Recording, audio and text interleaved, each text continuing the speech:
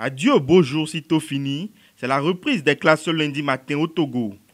Partout dans les rues de la capitale, l'ambiance calme des derniers jours des vacances a laissé place au bruit des klaxons des motos et taxis qui remorquent aussi bien les parents que les élèves fraîchement vêtus de leur tenue et de leur sac à dos. De la maternelle au cours secondaire, c'est l'affluence des grands jours dans les classes et devant les directions. Pour les anciens élèves, c'est une joie de reprendre les cours après les vacances. Je suis contente de revoir euh, mes anciens profs. Euh, je suis très contente. Je promets à mes parents de réussir cette année à mon lycée, car c'est important pour eux. Euh, ils ont souffert pour m'inscrire à cette école. J'ai bien commencé la rentrée scolaire dans mon école et je compte bien m'appliquer pour réussir au BPC. J'ai vu mes camarades, je suis content. Pour les nouveaux écoliers et élèves, contrairement aux anciens, c'est l'angoisse de ne pas pouvoir être au même diapason. Je suis un peu angoissée de comment mes amis seront, comment les élèves seront et tout. J'ai peur. Ce, matin, j'avais peur, mais, mais ce n'est rien du tout. Le prof nous a dit que nous sommes ici pour, pour la réussite.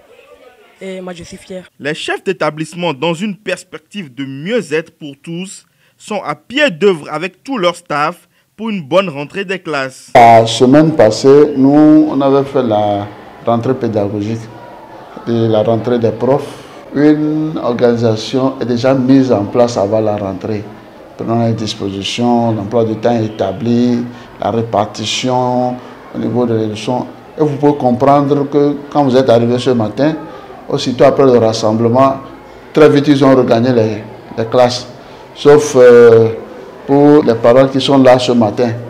Mais on les prend en charge. C'est pour ne pas faire traîner les choses et permettre aux parents très vite de pouvoir faire ce qu'ils doivent faire et aussi de, de vaquer à leurs occupations. Ce matin, les parents sont venus pour les inscriptions des enfants. Les dispositions sont prises pour les mettre dans de bonnes conditions, surtout les nouveaux. On ne prend pas les enfants sans les pièces nécessaires. Déjà très tôt le matin, 6h30, moi je suis déjà au bureau. Je suis là pour attendre les parents. Beaucoup de parents pensent que la rentrée sera encore repoussée c'est bien qu'ils ont pris beaucoup de retard. Les nouveaux, comme d'habitude, euh, tant dépaysés, surtout au niveau du jardin et de CP1, ils pleuraient. Ensemble avec les, autres enseignants et enseignantes, on essayé de les calmer. L'effectif euh, à la victoire cette année, on a constaté qu'il y a une petite euh, baisse, mais ce ne sont que des retards, ils vont arriver.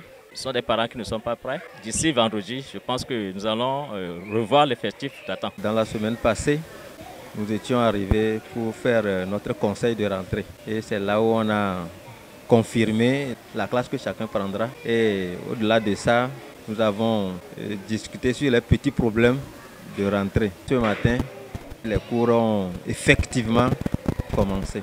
La rentrée a été effective chez nous. Tout le personnel est là. Les parents aussi amènent les enfants. Pour les pleurs à la rentrée, la séparation avec les parents ça pose problème. Comme c'est la première fois que les enfants quittent leurs parents, donc euh, ils pleurent. Mais on les gère en leur chantant des berceuses, en leur mettant au dos. La plupart d'entre eux ont prodigué d'utiles conseils aux élèves à l'orée de cette rentrée. On ne peut que souhaiter une bonne rentrée à, à tout le monde. Et aux enfants, il faut tout de suite se mettre au travail. Il faut s'organiser pour que dès les premiers jours, l'on se mette au travail. Et parce que l'année, une fois que ça a commencé, ça a commencé.